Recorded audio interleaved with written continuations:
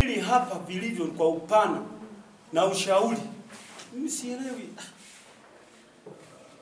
Unajua kuna kitu asubuhi usiku nilitaka kukupigia simu, bahati mbaya simu yako sikufunga. Nilitaka uje na cheti chako na mimi nije na cheti chako. Sasa mimi nakutegemea ndio tusaidie. Tunaweza kama mwanasheria kumbe yuko sawa na mimi. Maana cheti changu sio sheria. Zao kwa halmashauri na hakuna hatua itakayochukuliwa kutekeleza uamuzi wowote wa kamati yoyote mpaka taarifa ya kamati husika itakapokuwa imekubaliwa na halmashauri, isipokuwa pale ambapo idhini ya kuchukua hatua imekasimishwa kwa kamati. Lakini pia naomba nisome kanuni namba 45. Kanuni namba 45 moja inasema Kufuatana na kanuni ndogo ya pili ya kanuni hii, pamoja na masharti mengine ambayo halmashauri itaona inafaa, halmashauri inaweza kukasimu kwa, ma, kwa kamati uwezo wa kutekeleza kazi yoyote kwa niaba yake.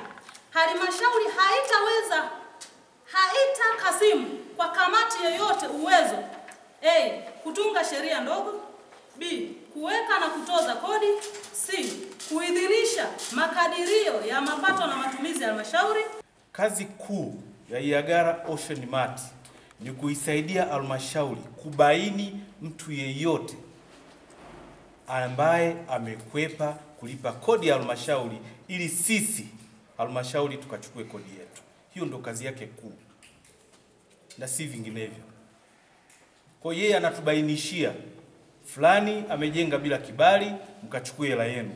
Fulani amefanya hiki, mkachukue hela yenu. Fulani ana leseni feki pale, mkachukue hela yenu.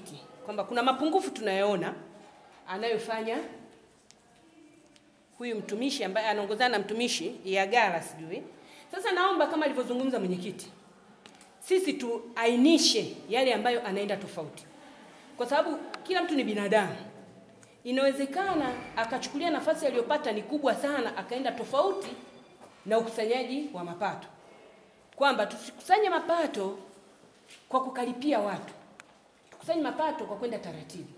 Sasa yule mwenye maoni kama alivyoongea mwenyekiti, mimi ningeomba tuandike, tumpelekee mkurugenzi. Kulipa fine. Hawajaja kulipa hawajaja kulipa leseni, hawajaja kulipa ushuru, ila wamelipa fine ya shilingi elfu hamsini.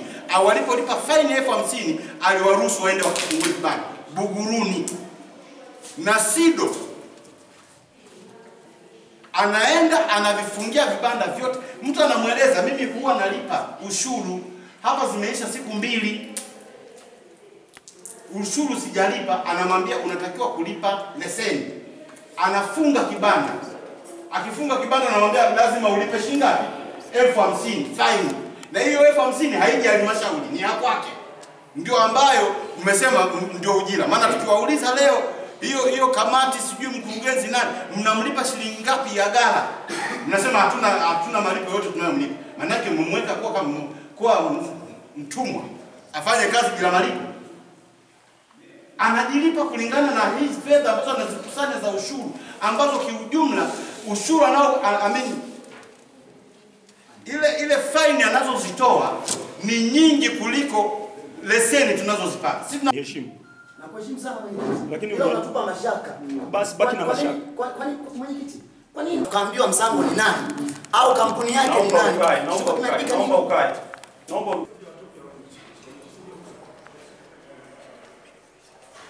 Mamlaka yanayo mwenyekiti. Au kudharau kanuni za kudumu za halmashauri.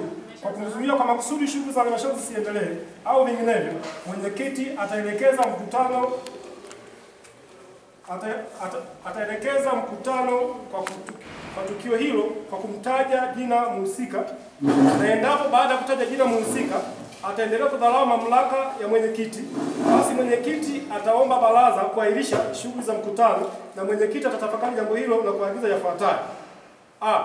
Mjumbe atolewe nje ya mkutano kama mjumbe wa halmashauri na kumzuia kuhudhuria vikao vitatu mfululizo pamoja na haki zake zote. B. Mjumbe kuzuiliwa kuhudhuria vikao vitatu mfululizo kwa kupoteza haki zako zinazohusiana na vikao hivyo. Tatu, iwapo kutatokea fujo kubwa katika mkutano wote wa halmashauri mwenyekiti anaweza kama ataona ni muhimu kufanya hivyo, kuahirisha mkutano bila majadiliano au swali au kusimamisha mkutano kwa muda atakaoona unafaa. Mwisho mwenyekiti, kanuni ipo wazi, amemwonya ameonya wajumbe mara kadhaa, lakini bado wajumbe wanaendelea kukiuka, na kanuni ipo wazi, umedharau kiti chako. Mheshimiwa mwenyekiti, sisi eh, baraza la madiwani tumekuchagua utendeshe vikao, na kwa mamlaka yako uliyonayo, ngiomba mheshimiwa mwenyekiti, kanuni ya 18 moja mpaka uh, uh, mbili A mpaka B ifanye kazi.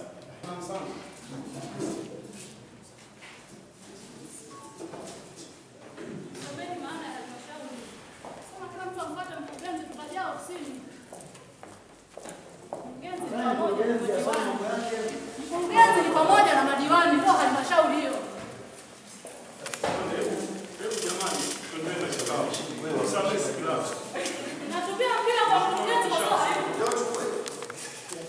Ah, mwendelee wote. Wajumbe.